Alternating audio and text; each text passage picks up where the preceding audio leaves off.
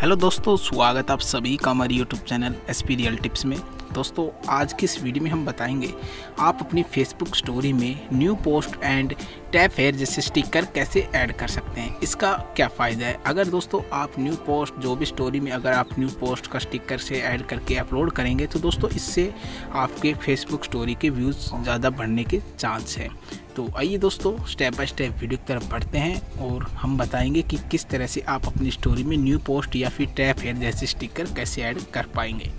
तो दोस्तों, इसके लिए आपको फेसबुक की ऑफिशियल एप्लीकेशन को यूज़ करना है और जैसे ही आप क्रिएट स्टोरी पे क्लिक करिए और यहाँ से आप कोई एक स्टोरी ऐड कर लीजिए। तो यहाँ पर हम चलिए एक स्टोरी ऐड कर लेते हैं। उसके बाद हम इस स्टोरी पर न्यू पोस्ट या फिर टैप है जैसे स्टिकर ऐड करेंगे। वो कैसे करेंगे? दोस्तों, आप जैसी स्टोरी ऐड कर लेते हैं, जस्ट आपको इस स्टोरी के बगल में आपको यहाँ पर कुछ ऑप्शन देखने को मिलते हैं। तो यहाँ पर दोस्तों, जो फ़र्स्ट में आपको एक स्टिकर का ऑप्शन मिलता है आप इस स्टिकर के ऑप्शन पे जैसे टैप करेंगे तो कुछ इस तरह का इंटरफेस देखने को मिलेगा। और थोड़ा नीचे स्क्रॉल डाउन करेंगे तो यहाँ पर आपको स्टिकर देखने को मिलेंगे। लेकिन हम जो स्टिकर बता रहे हैं, वो ये स्टिकर यहाँ पर देखने को नहीं मिलेंगे। जो tap here and new post जैसे स्टिकर आपको कहाँ मिलेंगे? दोस्तों, आपको इसके ऊपर आपको जस्ट एक GIF का ऑप्शन मिलेगा।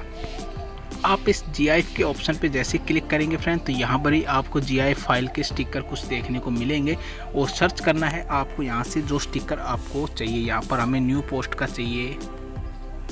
वो जैसे आप इस न्यू पोस्ट पे क्लिक करेंगे फ्रेंड तो यहाँ पर न्यू पोस्ट के कुछ अच्छे खासे आपको यहाँ पर स्टिकर देखने को मिल सकते हैं। जो आपको पसंद लगे, वो स्टिकर यहाँ से आप सेलेक्ट कर लीजिए। तो यहाँ पर आपको अच्छे खासे स्टिकर देखने को मिल सकते हैं। तो यहाँ पर हमने एक स्टिकर यहाँ पर उठा लिया और यहाँ पर आप अपने हिसाब से अपनी स्टोरी में एडजस्टमेंट कर सकते हैं और आप इसको इस स्टिकर को यानी छोटा, बड़ा या फिर घुमा फिरा भी सकते हैं।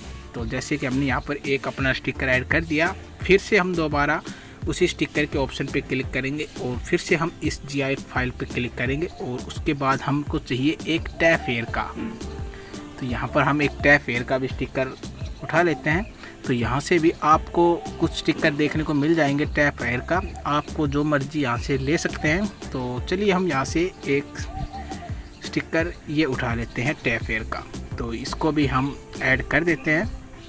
और जैसे ही हम इस स्टिकर को ऐड कर देंगे या फिर दोस्तों मैं आपको बस समझाने के लिए बता रहा हूँ, आप अपने हिसाब से स्टिकर को सिलेक्ट कर लीजिए। तो जैसे कि हमने यहाँ पर टैप एयर का और न्यू पोस्ट का स्टिकर ऐड कर दिया और उसके बाद आप अपनी स्टोरी को शेयर कर दीजिए। दोस्तों, इस, ऐसा करने से आपकी स्टोरी पर व्यूज़ आने के ज़्यादा चांस होते हैं, क्योंकि स्टोरी आपकी थोड़ी अट्रैक्टिव दिखने को मिलती है और आपके फ्रेंड अगर फेसबुक पर ऑनलाइन है तो वो आपकी स्टोरी को हंड्रेड दोस्तों एक बार ज़रूर आपको विज़िट करेगा।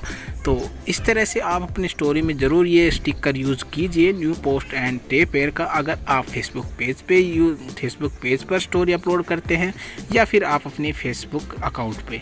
तो इसी तरह से आप अपनी स्टोरी में new here and new post new here and tap here का स्टिकर ऐड कर सकते हैं।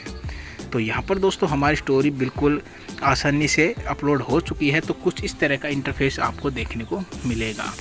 सो आई होप कि ये वीडियो आपके लिए हेल्पफुल रही होगी। अगर वीडियो अच्छी लगी तो वीडियो को लाइक ज़रूर करके दिएगा अगर कमेंट में अगर कोई डाउट लगे तो कमेंट बॉक्स में ज़रूर बताइए के चाहिएगा। और हाँ चैनल पे नए हो तो चैनल को भी सब्सक्राइब ज़रूर कर दीजिएगा। तो मिलते इसी तरह के नए इंटरेस्टिंग वीडियो में। तब तक के लिए दोस्तों, धन्यवाद।